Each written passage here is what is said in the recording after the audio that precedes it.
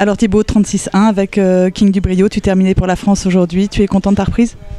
Je suis content, oui et non. Euh, c'est vrai que King a fait globalement une bonne reprise. Après, il était, un peu chaud, un peu tendu. Du coup, euh, il fait un très bon travail au trot, mais ça, c'est assez caractéristique de lui. Et puis dans le galop, il se contracte un peu et je rate deux changements de pied qu'on rate pas d'habitude. Un allongement au galop qui est un peu compliqué. Donc on perd pas mal de points dans la fin de la reprise. Donc je reste un peu sur une, une demi-teinte, mais après 36-1, c'est un, bon, un bon résultat. Donc globalement, je suis satisfait. Oui. Alors on le rappelle, toi tu étais double médaillé de, bronze euh, au dernier championnat d'Europe. Tu es champion olympique. Ici, tu es le pilier de l'équipe, tu es le, le, dernier. C'est une autre situation que celle que tu as vécue euh, dans la précédente échéance européenne. Ça change quelque chose pour toi?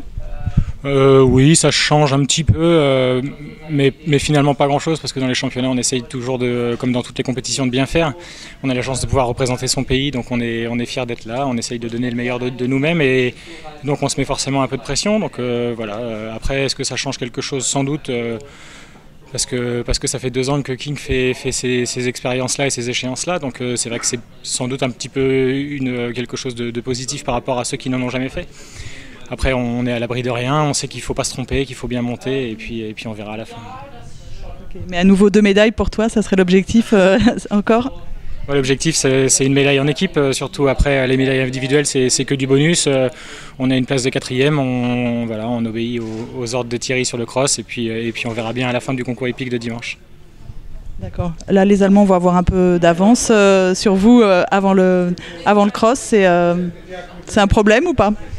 Oui, les Allemands, ils ont fait des, ils ont fait que des bons dressages. Hein. Ils sont, euh, ils trustent toutes les premières places, donc, euh, mais c'est pas une surprise non plus. Hein. Ils sont vraiment euh, techniquement très très au point.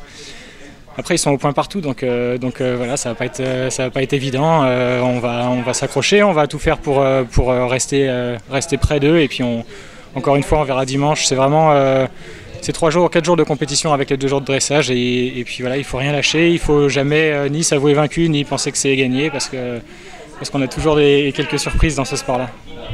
Ton analyse sur le cross?